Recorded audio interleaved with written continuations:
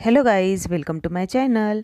आप देख सकते हैं कि तेजू अभी शूट ख़त्म करके घर जा रही है और हाथ में एक बोतल है और बहुत ही क्यूट नज़र आ रही है। उसने येलो कलर का आउटफिट पहना हुआ है और शायद ये शूटिंग का ड्रेस है और थोड़ी देर पहले ही वो लाइव आई थी और उसने कहा था कि मैं अपना जो मेकअप वगैरह है, जो रोल है वो रिवील नहीं कर सकती हूँ।